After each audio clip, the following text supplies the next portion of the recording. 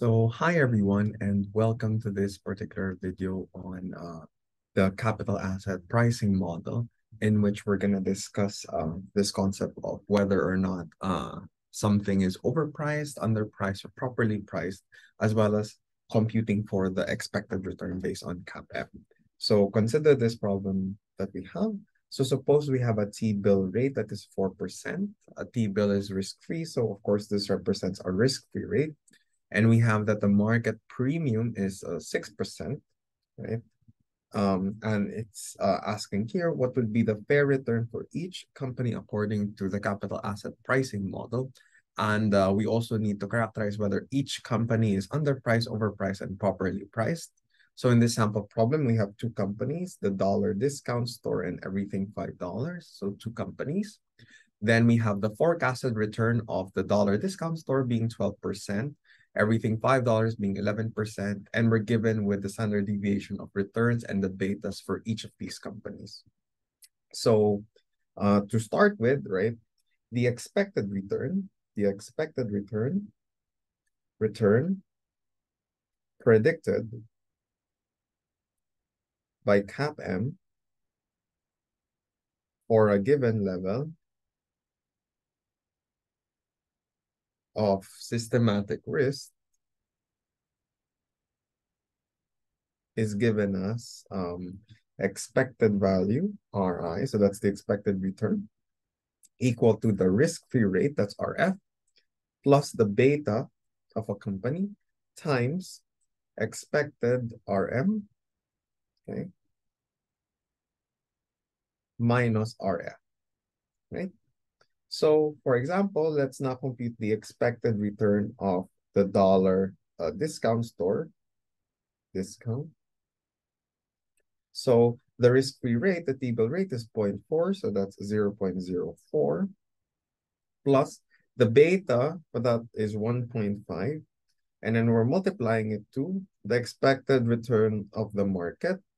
That expected return, right, is going to be 10% right? 10% minus, okay, uh, uh, the risk-free rate, which is 0 0.04. So this 10% is 0 0.10 and then 0 0.04, right?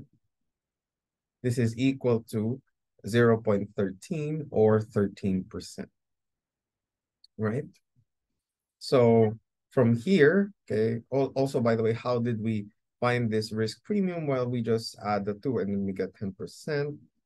Uh, and uh, then this expected value R uh, of the five, everything $5, everything, we have a risk-free rate of 0.4, 4% times the beta is 1 times 0 0.10 minus 0 0.04. This is equal to 0 0.10 or 10%. Right? So according, okay, according to CAPM, dollar discount requires, okay, requires, based on this expected return predicted by CAPM, requires a 13% return based on its systematic risk level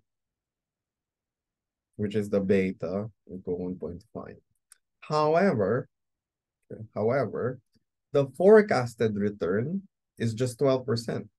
Forecasted return return is just 12%. So if we're comparing 12% and 13%, which is what we computed for, the therefore the security that uh, dollar discount is under is overvalued four dollar discount is overvalued. If we do the same analysis for the everything five dollars, for uh, the uh, the forecasted return is um uh 11%, but the uh, it just requires um a return of 10% based on its systematic level of beta is equal to one, right? Therefore, the security is currently undervalued, right? So we have the case that, okay, so everything Okay.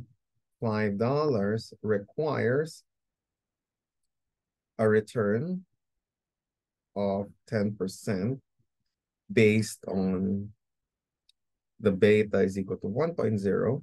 However, the forecasted forecasted return is 11%. Hence, uh, five everything five dollars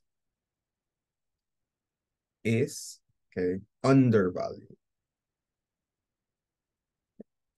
So that's it for this particular video on the capital asset pricing model. We're going to do more examples as we go along. So thank you for your attention and I'll see you in the next video. Thank you very much.